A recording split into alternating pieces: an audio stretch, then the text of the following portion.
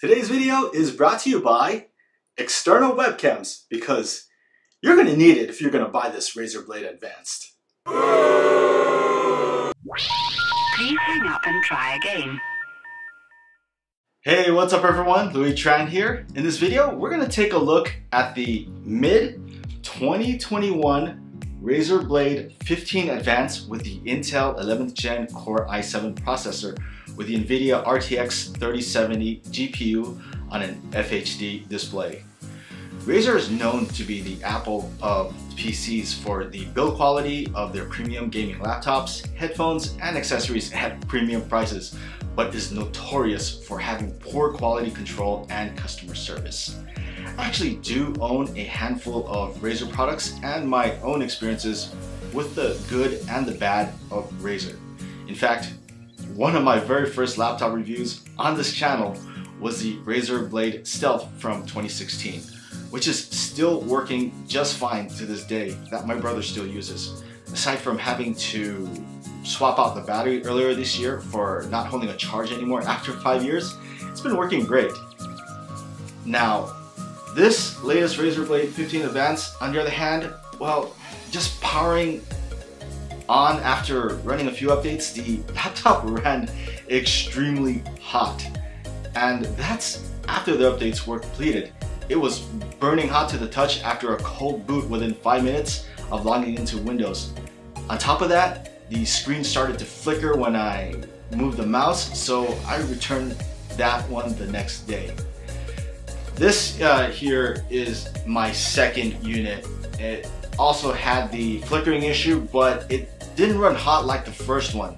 The problem came up on both Windows 10 and Windows 11 Developer Preview. Uh, a, a colleague of mine had the QHD version and was experiencing the same problem on Windows 10. The solution, the solution we found was to downgrade the Intel UHD integrated graphics driver and the issue is now resolved. We have not had it flickering for about three weeks since the newer drivers were released by Intel. So now we can finally get into the review of this Razer Blade Advance. The specs we're reviewing on this blade are Intel 11th Gen Core i7 11700H uh, processor, NVIDIA RTX 3070 8 gigs of VRAM, 16 gigs of system RAM upgradable to 64 gigs, 1 terabyte SSD PCIe 4 and weighs about 4.4 pounds. Like all Razer Blade laptops, this one has a solid build, which you will appreciate after taking it right out of the box. So weighing in about 4 pounds, in this well-made aluminum chassis, the Razer Blade Advance feels very sturdy with no cheap feeling flex throughout the body. The newer model blades now have a fingerprint resistant coating so the smudging while still apparent isn't as bad as the previous units. It's actually easy to clean off and of course you can slap on a skin if you want and none of that will matter anyway. On the back you have the iconic and sometimes annoying glowing Razer snake logo which you can thankfully turn off in Razer Synapse. As far as ports go, Razer is adequately generous with them. On the left side, you have their proprietary 230 watt charging port, two USB 3.0 ports, and a Thunderbolt 3 power delivery port. On the right, you have a full-size SD card reader, another Thunderbolt 3 power delivery port, and another USB-A 3.0 port, and a full-size HDMI port. Yes, you can charge up to 100 watts on the USB ports, which is great uh, to stay powered during productivity work, but definitely not enough for gaming. As for the HDMI port, I had this connected to my 100 Hz 35 inch 3440 by 1440 display at home and the 35 inch uh, 144 Hz display at work without any issues.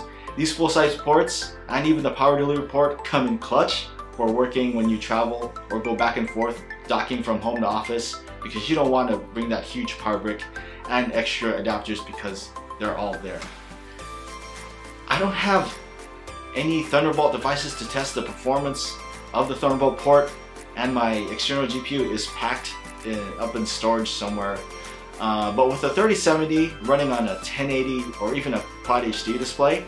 Honestly, you can plug one in with a 3080 or 3090 card, but you might as well build a desktop at this point. Uh, but if you want to test this out uh, with an eGPU connected, uh, let me know uh, in the comments. Now, let's talk about the screen. You know, initially I wanted the QHD 2040Hz model, and those were like the magical unicorn at the time because they never had them in stock anywhere. Uh, I think as of this writing, Razer re-released the QHD model with 165Hz because of panel issues from what I heard. Uh, so the blade we're looking at is the 15 inch 1080 display at 360Hz and let me tell you, there is no way I'm going back to any Windows laptop at 60 Hz and I'm hoping that the upcoming MacBooks uh, will have a faster refresh rate. I really enjoy how smooth everything feels and the overall experience is amazing even though 360 Hz may be overkill for most people, especially for those who do not competitively play uh, first-person shooter games. I like it a lot doing productivity work, especially scrolling through text and spreadsheets for work. You can adjust the refresh rate down to 60 Hz uh, to perhaps save some battery. There have been some tests that show that it doesn't make that much of a difference, but you probably probably wouldn't want to. Uh, for those who that do play first-person shooters and games in general, the fast refresh rate is highly appreciated and you will want to get the faster refresh rate over the 4K 60Hz variants of the Blade Advance. But, you know, if you care about resolution over frame rates, uh, that option is there. Also, if you're docked most of the time to an external monitor, then of course none of this really matters. I don't do Photoshop on my PC and I do video editing on my M1 MacBook Air, so I can't really speak to the color accuracies for Adobe applications, but according to AnandTech, uh, Razer has done a good job calibrating this display for most tasks. So I'm gonna take their word for it because it, it looks pretty good to me. On top of the display, you have probably what is the worst 1080 camera on the market, period. I can't believe this piece of crap is really 1080. Even the stupid 720 camera on the MacBook looks better than this. Uh, yeah, Razer really skimped out on the webcam, which is disappointing, especially for the price of this laptop. If you really need a better quality camera or for streaming or web conferences, get a $50 external one because this is pretty bad. Now, another thing that they skimped out on, the internal speakers. These are pretty awful and I'm starting to believe Razer acquired THX so they could slap on the sticker onto their laptops with crappy ass speakers. Here's a listen.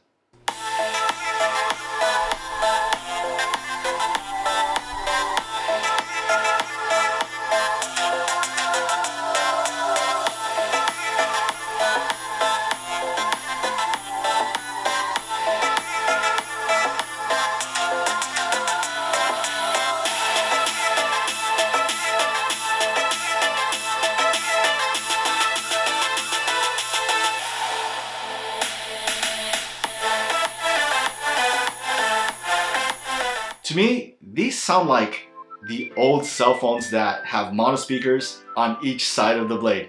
Hollow, tinny, no bass at all, and so plan on using some headphones or connecting to an external speaker because if you really want to enjoy the sound of your games, uh, that's, that's the way to go.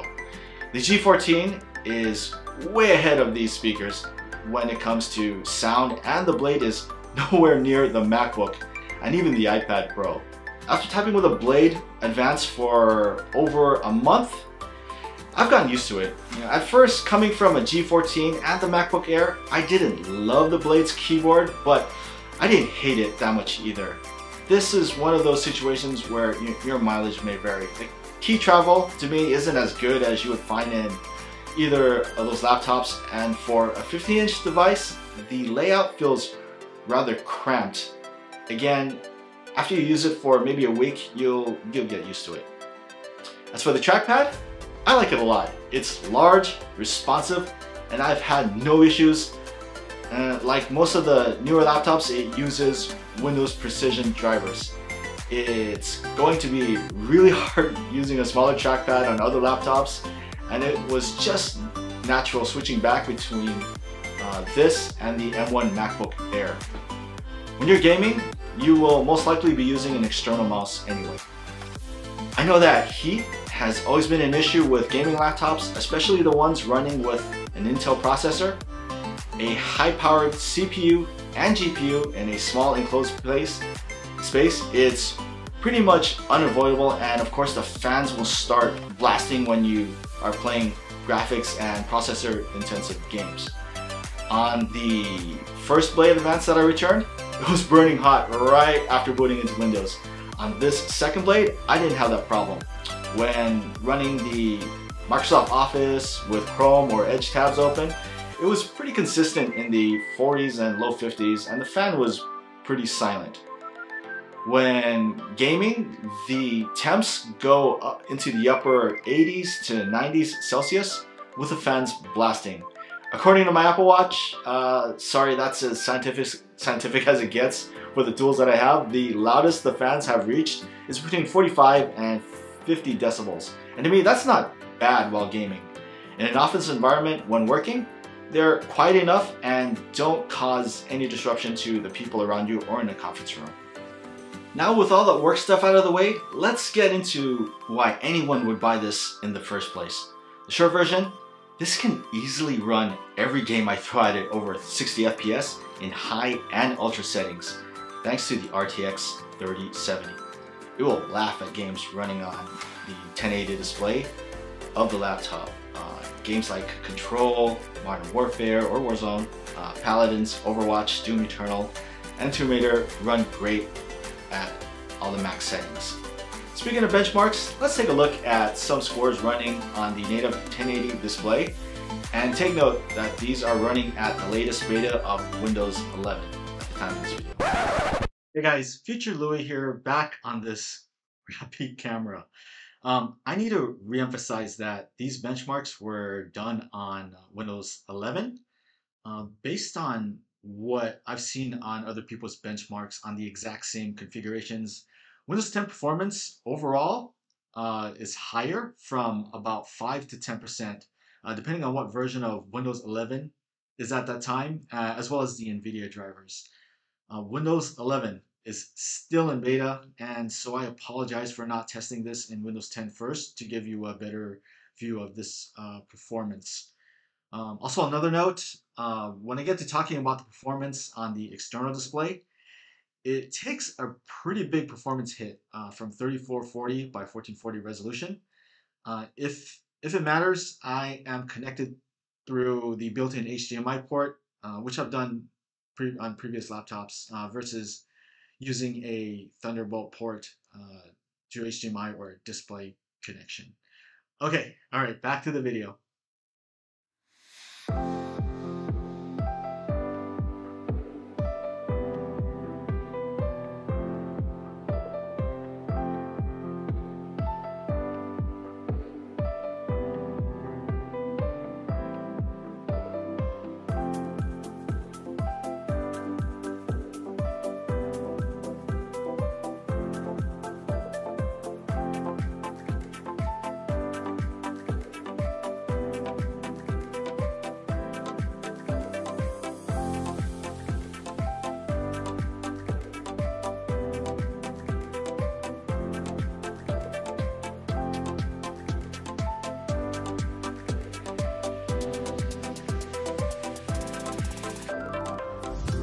Know that people buy these gaming laptops in place of desktops, so they're connected to an external display and obviously the performance is going to be different at a higher resolution.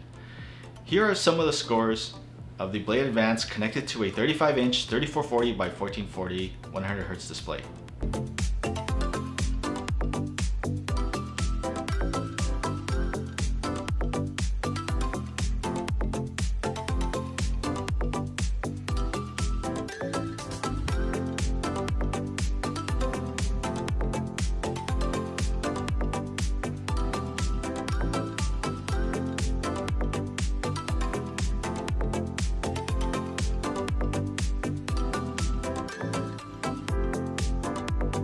Like all gaming laptops, I'd advise against playing this with the lid closed when connected to a monitor so you get the best amount of airflow possible.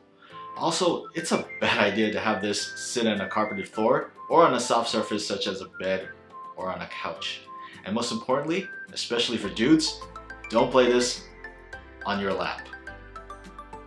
For those that are deciding between this and the AMD Ryzen Blade 14, the immediate recommendation would be to go for the Blade 14 because it runs a more efficient CPU for performance, battery life, and temps. The reason why I went for the Blade Advance was for upgradability. The Blade 14, no matter what configuration you get, which I hope they change that soon, you're stuck with 16 gigs of RAM. 16 gigs is plenty for most people for just about anything from productivity to gaming. Uh, for my work, I deal with multiple virtual machines in different test environments, uh, running proprietary software, so it makes sense to have more RAM. When you open the bottom panel, you have access to two upgradable RAM slots, which I've upgraded to the max and 64 gigs, uh, two M2, two M2 NVMe PS, PCIe for SSD slots, uh, which I threw in another one terabyte, and you can also replace the Wi-Fi card, which hardly anyone ever does. And then there's the battery. Lots of people have reported that the battery has bloated from 12 to 18 months from owning a Blade.